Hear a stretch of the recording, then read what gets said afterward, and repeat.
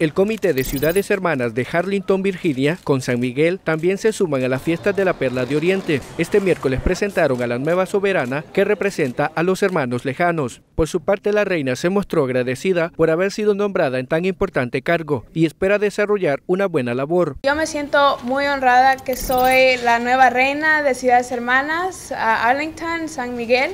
Me siento muy feliz de que estoy aquí con todos ustedes, que estoy haciendo una causa muy importante aquí. Don Manfredo Mejía, tesorero del comité, agregó que ya son 14 años donde gracias a la colaboración de buenos ciudadanos aportan instituciones caritativas de la ciudad. Especialmente al asilo San Antonio, también a la aldea San Antonio, a dejar donativos más a las escuelas de bajos recursos.